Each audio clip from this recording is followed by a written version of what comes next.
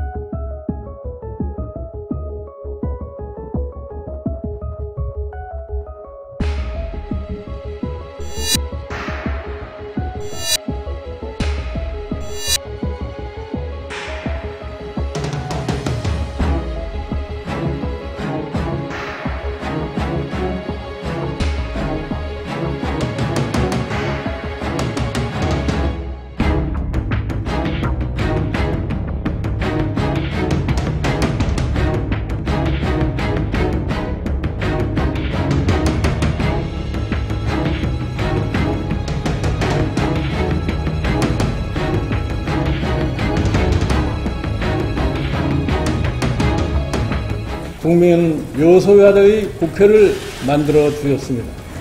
이는 민생의 광장에서 국민과 함께 호흡하면서도 싸워야 할 곳은 국회의사당이라는 것을 가르쳐 준 것입니다. 정치가 거리의 고와 선동의 말장치가 말잔치가 되어서는 안 됩니다. 2017년 정권 교체에 실패한다면 경제민주화의 기회는 다시 오지 않을 것입니다.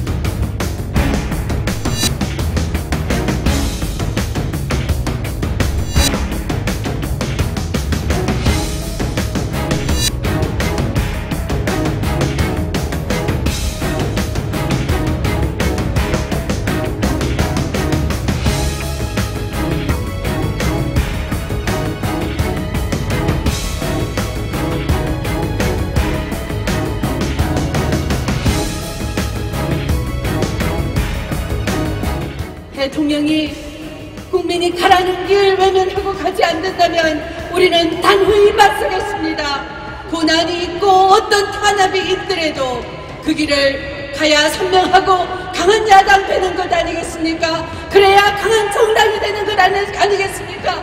그래야 우리의 수권 비전 만들 수 있게 있지 않겠습니까? 함께 합시다 여러분!